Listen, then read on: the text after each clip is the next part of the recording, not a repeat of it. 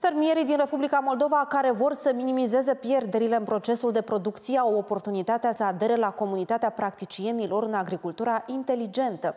În cadrul unei prime reuniuni a acestei organizații, la care și-au dat întâlnire aproximativ 50 de fermieri, agricultorii cu experiență și-au împărtășit cunoștințele colegilor care sunt gata să realizeze noile practici internaționale de adaptare la schimbările meteo.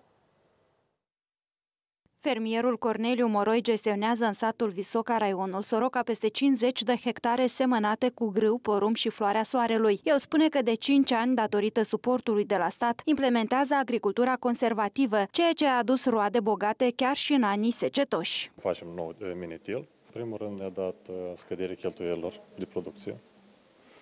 Uh, o altă un alt plus care le vedem uh, îmbunătățirea structurii solului. De la stat am beneficiat de, de, de, de subvenții. Dumitru Bodarev, un alt tânăr agricultor, practică agricultura conservativă de 2 ani. Am implementat agricultura din 2020 după secetă pe o porțiune foarte mică.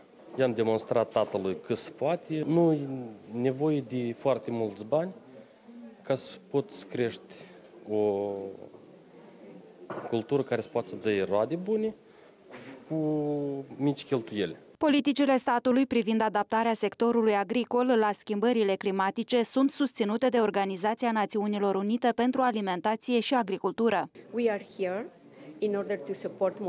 suntem aici ca să susținem Republica Moldova, inclusiv să oferim fermierilor instrumente care i-ar ajuta să producă mai eficient, într-un mod prietenos mediului și fără să fie afectați de impactul schimbărilor climatice. În cadrul evenimentului a fost prezentată și platforma web a comunității copuasam.md, unde fiecare fermier poate să beneficieze de expertiză în domeniu. Noi trebuie să implementăm tehnologiile care ar conserva această apă în sol și au, ar oferi-o plantelor în perioada de, de dezvoltare.